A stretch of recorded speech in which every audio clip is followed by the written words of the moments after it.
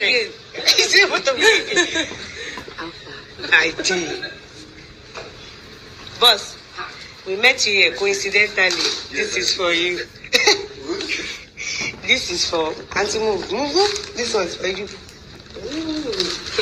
Yes, that's what I'm saying. It's a coincidence. We're supposed to like drop it for you. Uh, It's a lie. it's for you. You are not black. wow. I feel good. Wow. Thank you. wait, wait.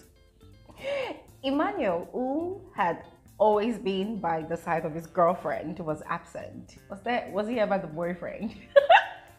he finally hit the nail on the head after he was a no-show at Liquorose's birthday party.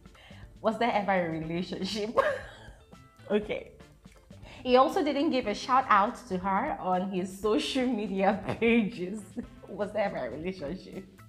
Wait, let's move on to the cheapest part. In the message that had since gone viral, the fans had raised millions of naira for the former couple, but have not been able to present it to them because of the sad turn of events. We're talking about a breakup. Don't don't we have to have a relationship before we even talk about a breakup? wait, wait, wait. This is this is actually the juicy part. The ship has raised the sum of 19.7 million naira. Was that for a wedding?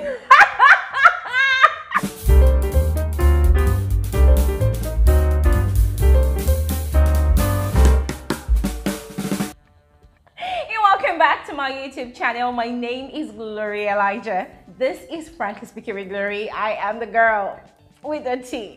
Listen, guys, listen. Let me put this disclaimer out there, all right? Glory Elijah is not petty, but I love to have a good laugh. yes, I love to have a good laugh, especially when I have predicted something, when I have seen something coming way, way, way, way, way beyond the present, and people come and drag me for it. Guys, ah, nah, I must have a good laugh. Hold on, let me drop my mug of tea. Listen, listen. I actually had an entirely different conversation planned out for today's video, but then I strayed into Instagram last night and I stumbled on this not so new news because, to be very honest, it's not even news at all. It's all gist. In fact, it's not even newsworthy. To be very frank with you all, it's not even newsworthy because I told you all, and I hate saying I told you so, but hey, I have to say it. I told you so. That there was nothing, there, there's no reality in that thing, that situationship or whatever that Liquorose and Emmanuel had in Big Brother Naija Season 6 Shine Ya Eye edition. But no, some very highly delusional people decided to drag me. Guys, I swear, I think nine months later, I, I think I did a video. I told you guys I went onto Twitter and I typed my name. And I just, I saw the bunch of madness. Like these people were literally dragging me on Twitter. I did not even know they were dragging me on Twitter because they were not even tagging me.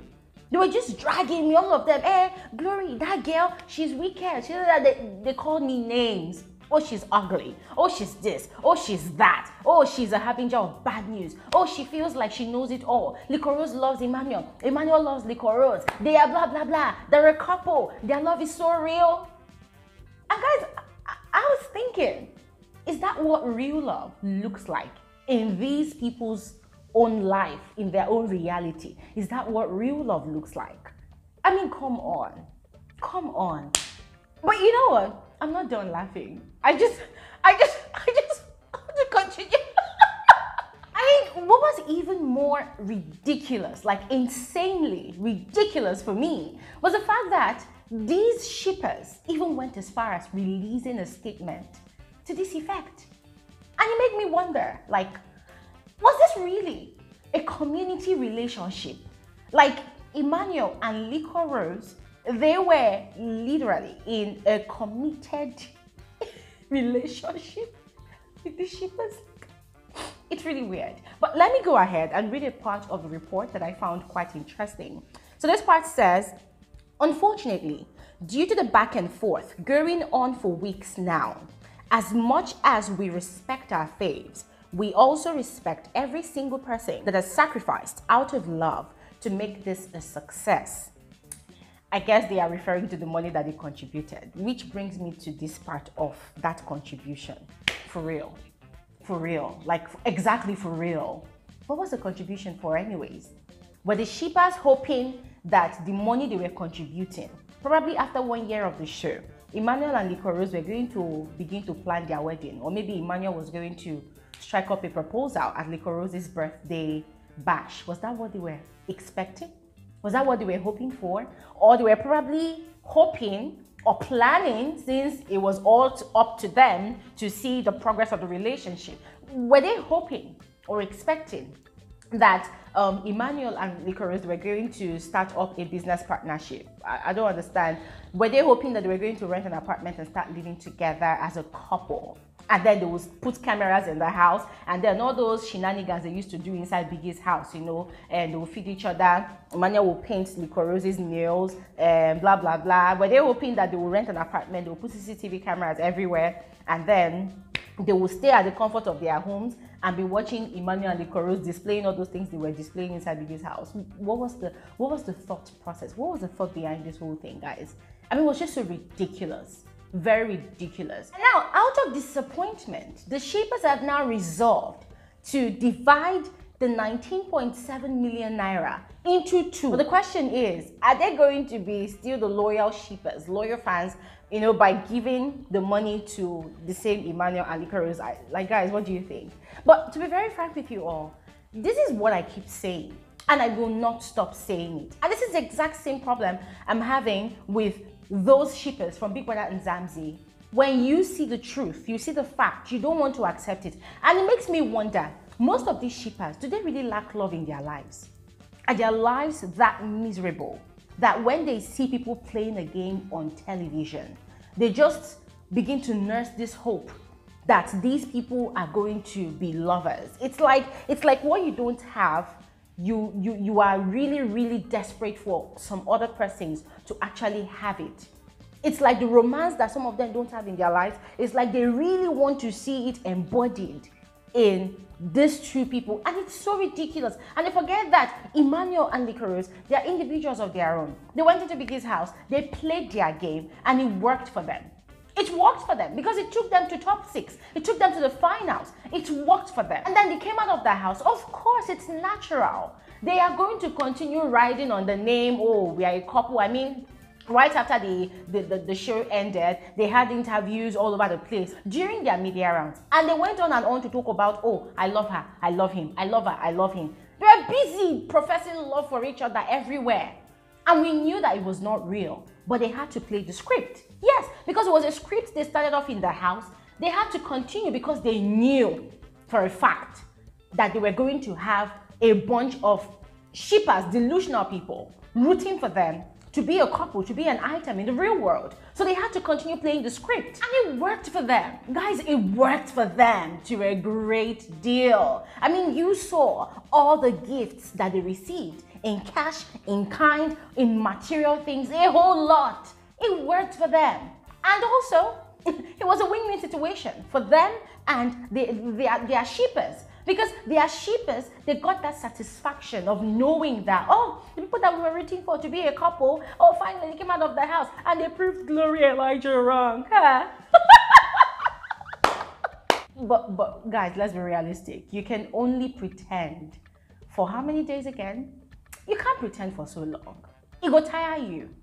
It will tire you. Listen, they had to go back to default setting. Yeah, default setting is their lives, their actual lives. Yes, I understand there's fame, there's popularity, um, there's there's more um, endorsements and businesses to handle, but yes, they actually had prior commitments before going into Biggie's house, and they had to go back to their lives. But then back to the sheepers. How are you guys doing? listen, guys, listen, guys. I have only one request, okay? Just one request. You see that 19.7 million naira, eh?